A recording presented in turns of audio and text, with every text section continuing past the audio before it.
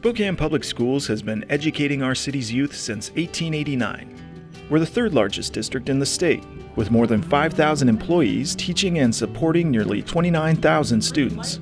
SPS has 34 elementary schools, 9 middle schools, 5 high schools, and 7 option schools, as well as an online learning program.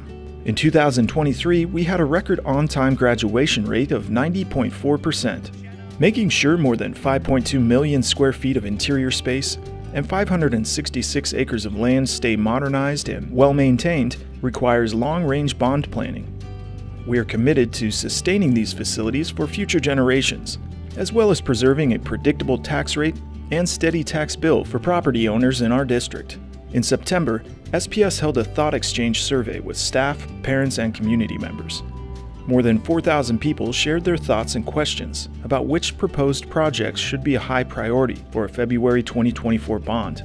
In November, the SPS Board of Directors approved putting a $200 million school bond before voters on February 13, 2024. This continues the district's long range plan and ensures our schools remain safe, modern, and ready for growth. The February 2024 bond continues our district's approach to strategically modernizing or replacing a few of our older schools, while making smaller improvements to keep all schools updated with the latest security and technology. Learn more about each of our planned bond projects at spokaneschools.org/2024 bond.